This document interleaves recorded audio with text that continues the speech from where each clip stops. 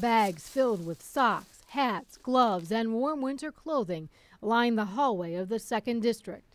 I hope it really helps people. For the second year in a row, Cleveland Police Sergeant Mitch Sheehan has spearheaded a clothing drive to help the homeless. Some of them just have a mental illness that they developed or they've had, and there's no one to take care of them, so they're homeless and they have nowhere to go and they, they can't get jobs.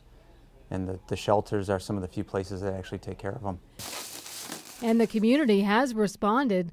Last year, he tells me, they collected thousands of items of clothing. Number eight for clothing. This year, they've already made a trip to St. Malachi to drop off warm clothes for those who have no place to call home. We are just about out of coats, and so they came tonight with 48 coats, socks, underwear, uh, clothing, other t- types of clothing as well. Sheehan explained he started the program when he stopped by the church and saw an empty bin.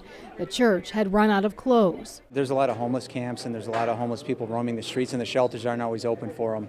And it's sad when you see someone that's that's freezing outside and there's not much you can do for them. But the community and 2nd District police officers are doing something, helping the homeless, one piece of clothing at a time.